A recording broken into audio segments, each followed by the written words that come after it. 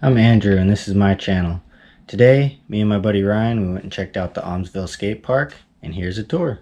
This little quarter is my favorite obstacle at the park.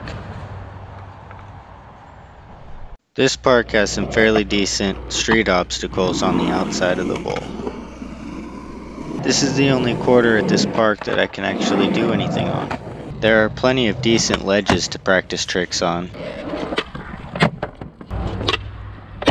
I really like this little transition area. There's also a nice little curb thing. And a bench! I really dig this little manual ledge thing too. Everything in the bowl goes pretty much to vertical. Even the shorter stuff. This isn't really preferred for practicing new lip tricks, but it's a lot of fun to drop in and carve.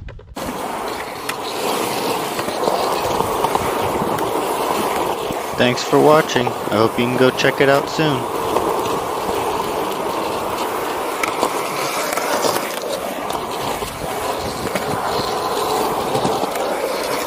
Consider subscribing.